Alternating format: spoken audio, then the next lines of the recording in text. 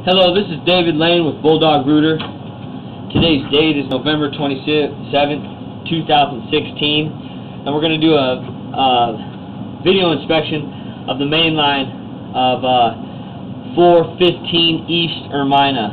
I'm going to start pulling back and describe the line. We just got done uh, using the jetter on this line. Earlier this morning I was called out because of a blockage.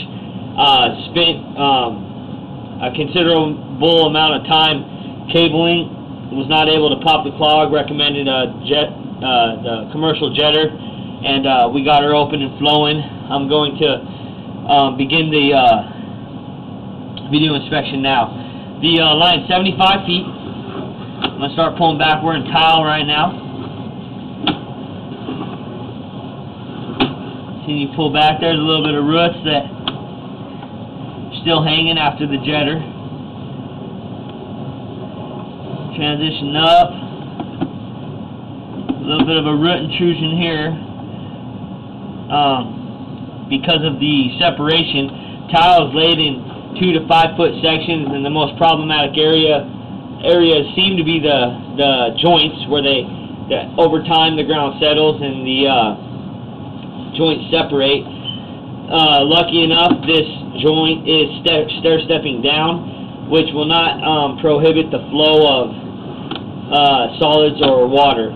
The uh, bottom of the pipe is always in indicative of where the water is running or the uh, placement of where my light is on my on my camera. So the bottom of the pipe right now is the upper left-hand corner. I'm going to continue to pull back. There was a little bit of a root intrusion at that separation. Just past uh, 59 feet. Going to continue to pull back. Minor separation there.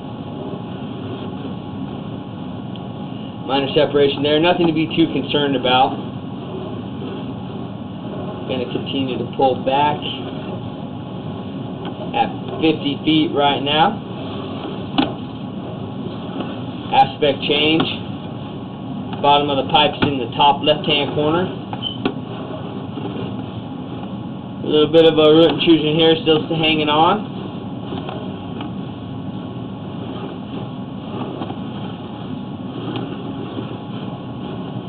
Earlier today I was unable to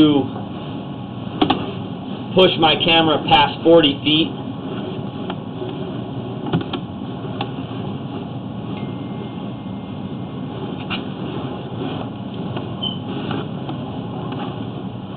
We're at 30 feet right now.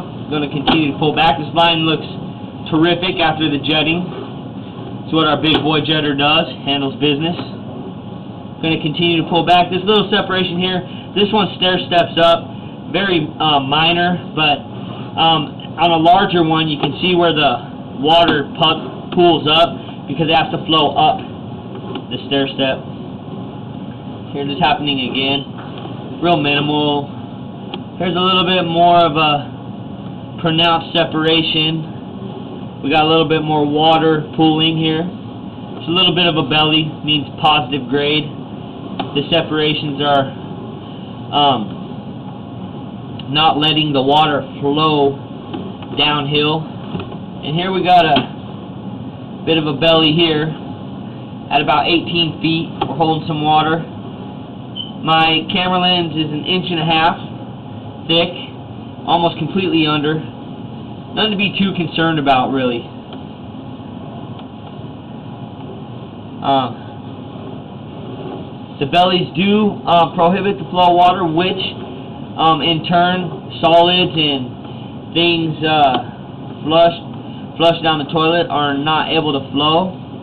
Here's a pretty healthy separation. You can see here, right about 11 feet.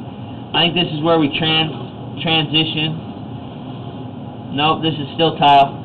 Um, right about 11 and a half feet, we got a pretty healthy intrusion. And then, okay, here's where we transition from tile into cast. Cast iron usually stubs about three to five feet outside the foundation. We're uh, coming coming down the uh, line and out the clean out here where we did this video inspection from. Um, again, this is David Lane here with John Weishaupt um, doing a video inspection after jetting.